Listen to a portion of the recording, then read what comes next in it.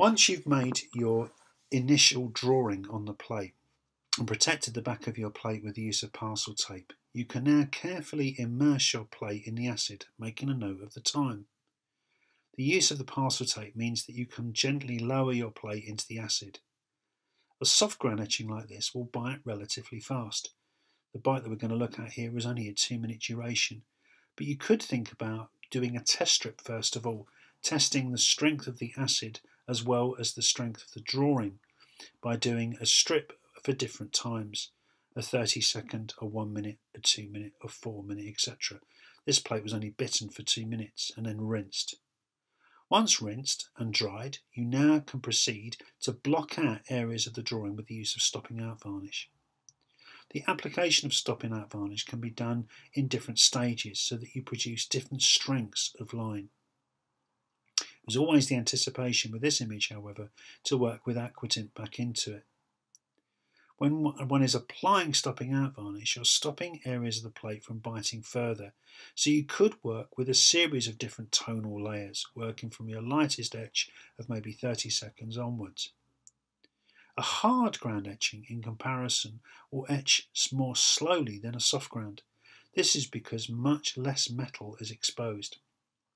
Still, the use of the goose feather is taken over the surface of the plate to remove excess bubbles.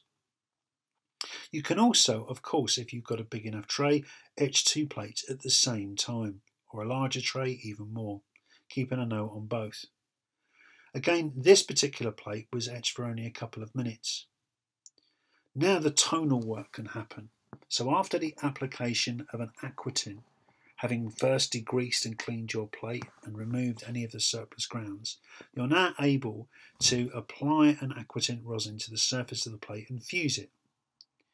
The aspiration of this image was to always work with aquatint. So whilst the drawing is giving you some information and some ideas of tone, the aquatint layers will build up other areas of tonal depth. So before you start the process, you can use the stopping out varnish to protect parts of the plate you want to remain as a white value. Immersing the plate in the acid for a few seconds will produce a tone that can then be removed, rinsed, dried, and then further applications of stopping out varnish added on. And this can be done to various different depths and times. You can look at the surface of the plate and get a fairly good idea of how that will translate itself into the finished print, but you never fully know until you've actually proofed your print.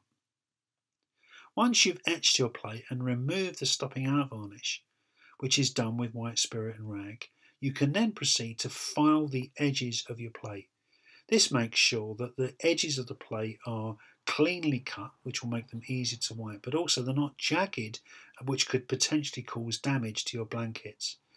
It's also a case that if you ink up with a roller, those jagged edges can do damage to the roller, so it's really important that you keep those edges clean.